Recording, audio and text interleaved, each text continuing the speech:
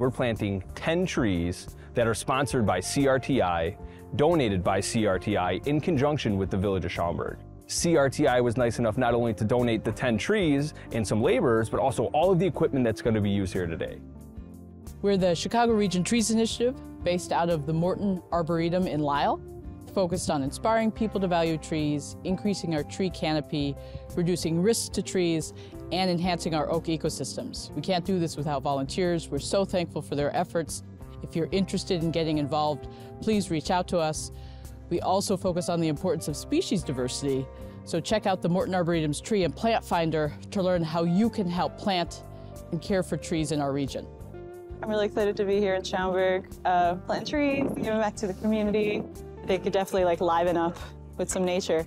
I love trees, I love nature. I especially love going down the parkways in Schaumburg through the various seasons and all the beautiful trees and everything they've planted. It's very enjoyable as a resident.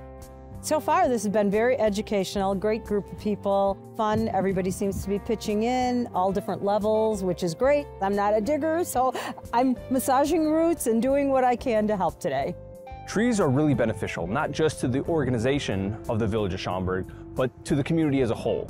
So in events like this, where we get to kind of engage with the public and really help spread those benefits throughout the village, the volunteers can come back years, decades later, and see the fruits of their labor. This benefits not only them, but everybody in the surrounding area.